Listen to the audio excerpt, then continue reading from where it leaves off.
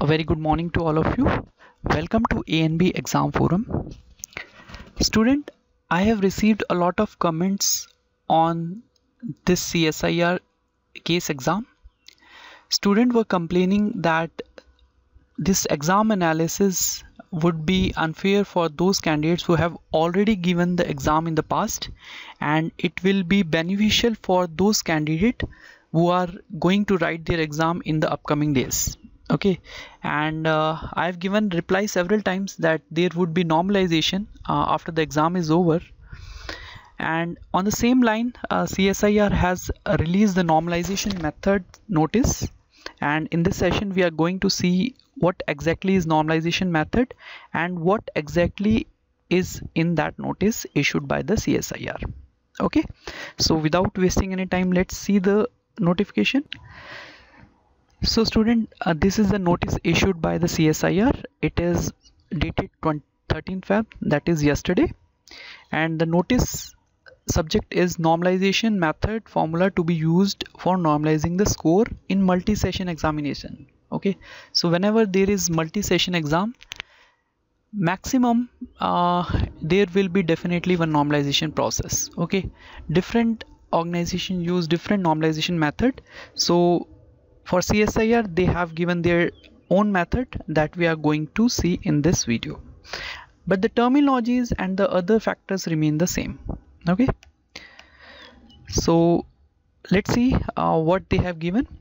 So first thing you should know what is percentile score score. Okay?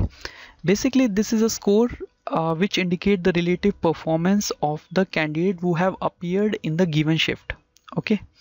And remember student as they have also written it is not same as the percentage of marks. Okay. The other marks they are referring as a raw score. Whatever the score you have obtained in the written test that is called raw score. Okay.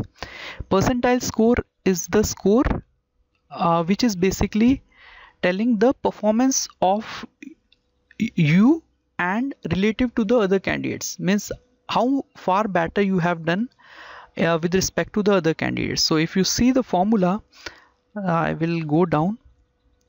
So if you see the formula the number of candidates appear in the shift with raw score equal or less than the candidate over total number of candidates who have appeared in the shift into 100 okay.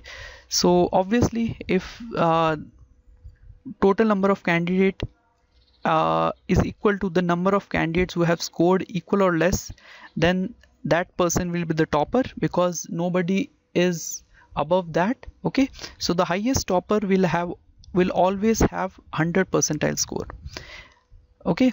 So this is the percentile score first you should know and uh, the important point I have already highlighted in this document. So shortlisting of the candidate uh, will not be on done on the percentile score. It will be done on the normalized marks okay? And uh, how uh, will this normalized marks will be obtained? It will be definitely obtained from this percentile score okay? And uh, for conversion from percentile score to normalized score equipercentile method is used okay? What exactly is equicent uh, center method? You can have a look on the internet. It is very simple one.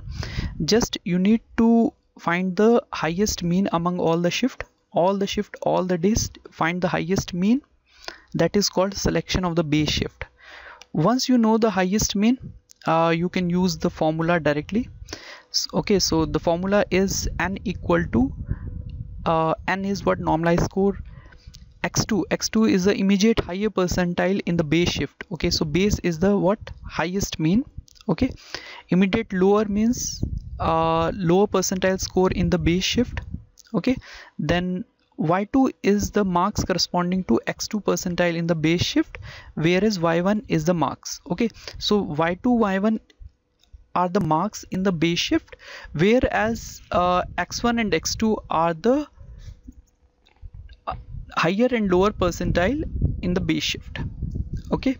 So if we go to the next uh, thing that if it is less than the base shift percentile then it will be differ for different one. Okay so for that uh, it is just an interpolation method. If you see it is y1 the original marks plus whatever you have interpolated. This is nothing but interpolation. Similarly if you have scored less than the base shift then y1 minus the interpolated marks. This is just an interpolation. Then the final thing that you need to see this marks uh, will be finally merged to call for the final normalized score okay? And this final normalized score will be done after the calculation of this normalized marks okay? And if two or more candidates having the same normalizer marks that is very difficult but still if it happens uh, both the candidates will be called for the tier 2 exam okay so if you can go through this uh, document it is quite simple. Uh, they have given the method and they are very transparent to it. Okay so